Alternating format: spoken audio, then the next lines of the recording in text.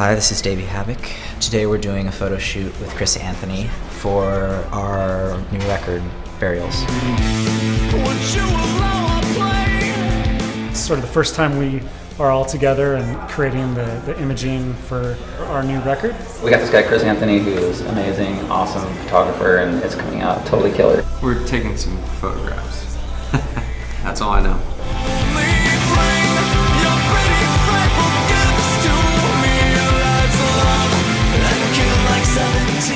The record's very, very lush. It's very layered and very upsetting.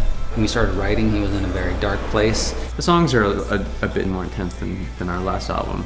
Gil Norton produced it. He really understood what we were trying to realize with this record and added a very inspiring perspective to it. And kill like 17 now.